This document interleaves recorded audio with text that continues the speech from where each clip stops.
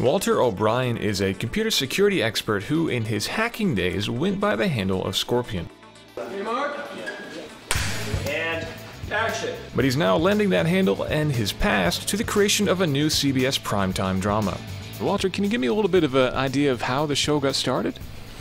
Sure. The, um, the company's been around 25 years, and we have a harvesting department rather than a HR department to harvest IQ from the planet and they're getting it's getting harder and harder to find more geniuses. So we thought it'd be a great idea if we could tell our story and maybe have them find us.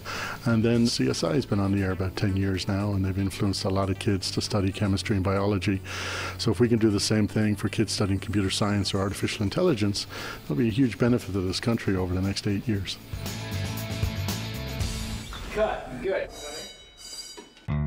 O'Brien is one of the world's leading experts when it comes to applying computer science and artificial intelligence to complex industry challenges. Hacking to me is really just a mentality. It's whether you're biohacking a body or hacking a technology system. It's a way of thinking outside the box, of seeing what's not there, of questioning assumptions, of going around the obvious. His first run in with the law happened at a young age, just 13, when he worked his way into NASA computers to download space shuttle blueprints to hang on his wall. When I was 13 years old, I was a curious kid, and I got on the ARPANET before it was called the Internet.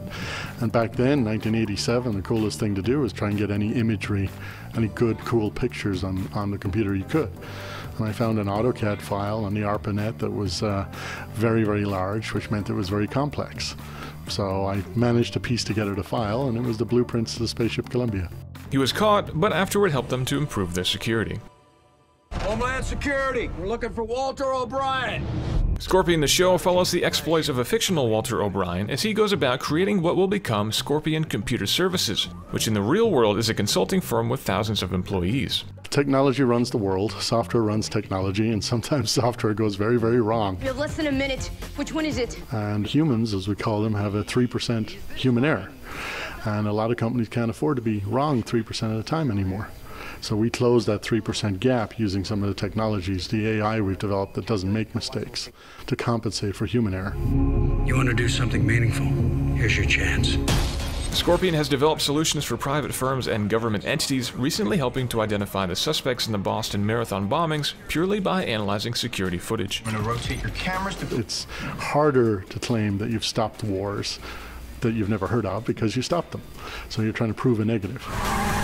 But things in the world in general would be a lot worse if there weren't people who are really, really dedicated and they don't sleep and they don't go home till the problem's fixed. We're in. Scorpion premieres on September 22nd, and while episodes may take some liberties with the truth, Walter hopes the focus on tech will be enough to inspire a new generation of computer scientists. My name is Walter O'Brien, and I'm a genius.